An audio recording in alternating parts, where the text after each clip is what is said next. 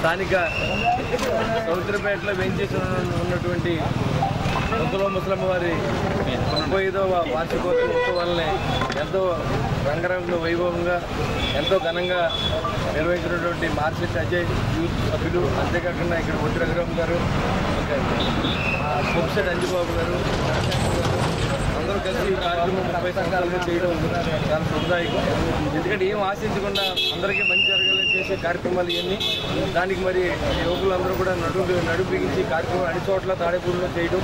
అందులో ముఖ్యంగా మరి మొత్తం మొత్తం మొత్తం ఎంతో ఘనంగా ప్రతి సంవత్సరం ఉపయోగించుకొని అన్నీ బాగా జరుగుతాయి.